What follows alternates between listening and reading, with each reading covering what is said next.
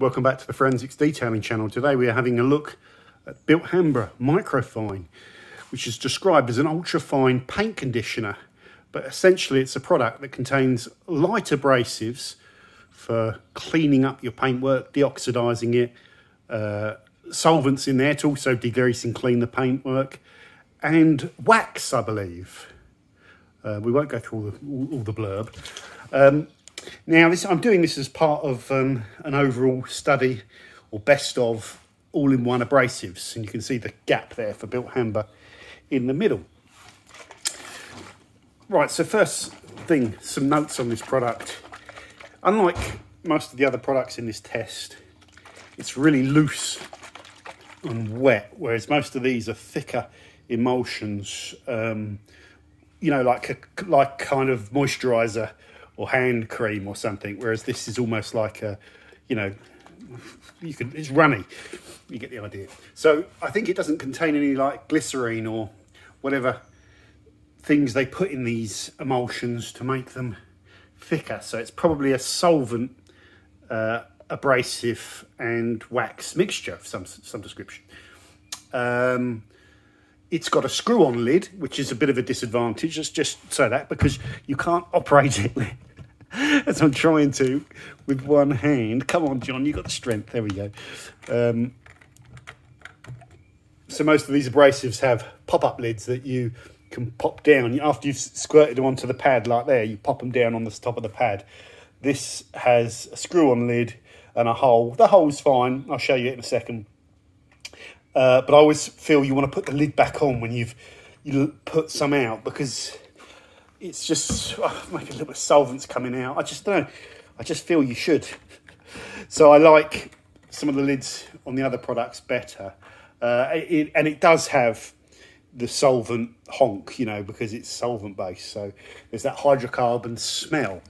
Um, okay, now I'm also going off piece with this product because it sort of comes with an applicator and you can work it by hand. But I want to work it by machine. So the first thing you see is, and it's quite hot today, 21 and a half degrees. It's kind of like a thin liquid. So it doesn't, although I can get away with it, I can put it on the pad, you see. There's quite a lot of liquid. Um, and it's not absorbing into the pad, so I can then pick up my, you know, pad, take it to the car. I've cleaned this surface down, so it's ready to be polished. And then I can just sort of dab out, just like I would, just like I would a, an abrasive over a, a two foot area.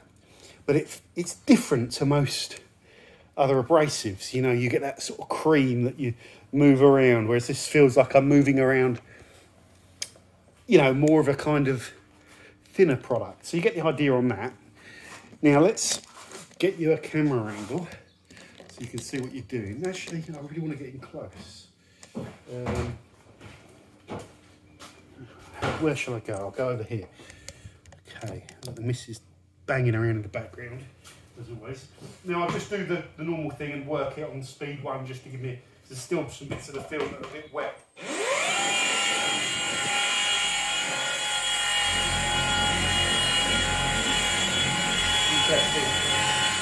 Now I'm just going to crank up a little bit. Just push into it. So what work your braces?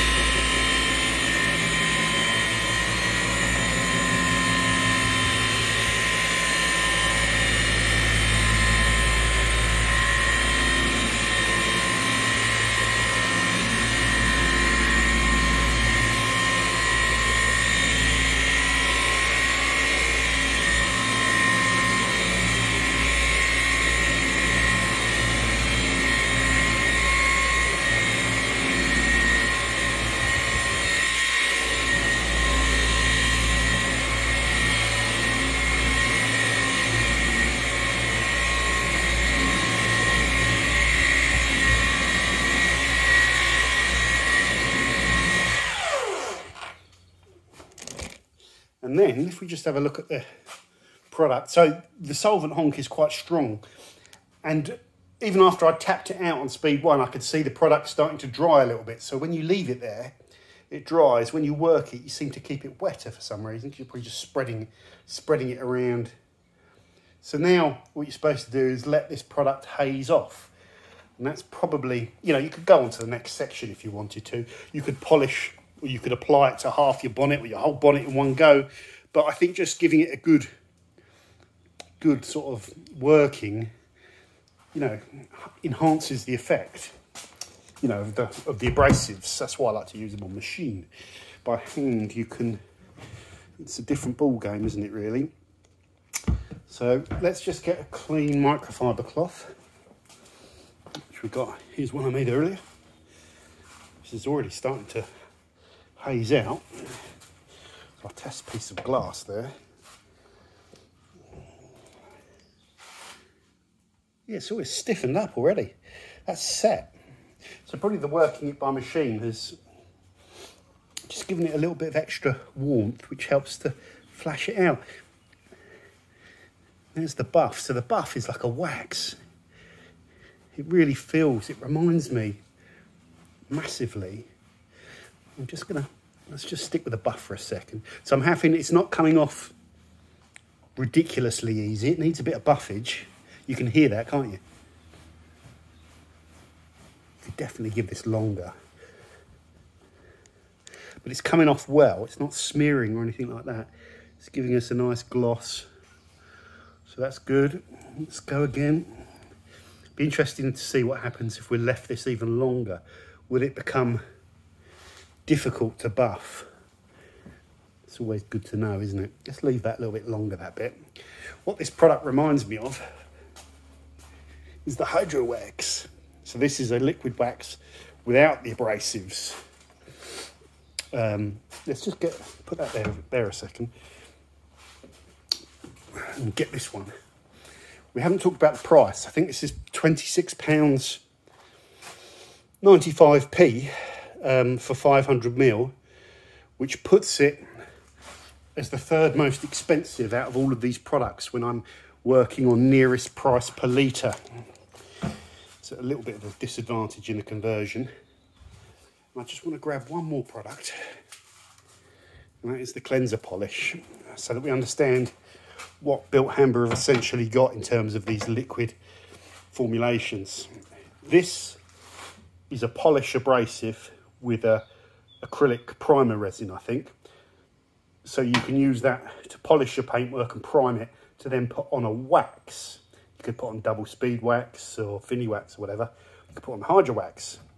You wouldn't go and then put microfine on top of the primer polish because the abrasives in microfine are going to scrub through especially if you use it by machine, the um, acrylic primer that you put down, in my head at least. So you would either use a combo of primer and pure protection products or an AOI on its own. Generally, you use these AOIs on their own. So there's a little important thing. These newer bottles from Bilt Hamber are better than the old metal ones that had no way of controlling the liquid. So better. Right, this has been on here a bit longer. Let's flip to a clean side and do our little four-way fold. Pinch the open edges, the four open edges. Let's see how this buffs. Let's get an angle so you can see it there. There we go. You get the full effect of the buffage. Here we go. Yeah, so you can see there, like it needs a second buff to get it all up or maybe even a third pass. So I'm going reasonably slow. I don't like to buff with pressure. I like to just buff gently. You see, if I didn't buff enough, you see that little kind of arc there. It just needs a bit more. So it's not a silky light buff. But then the, the trade-off is usually when something stiffens up and dries like that. Usually, oh, see, there's the, there's the thing you've got to be careful with. There's a little tiny bit of wax there. Look. Get your buffing game in order, John. But the trade-off is usually, if it's a bit stiffer to buff like that, but you get a bit more durability. So, is it, does this thing, microfine, also contain the hydrophobic polymers that Hydrowax has and double speed has that give it very, very good beading?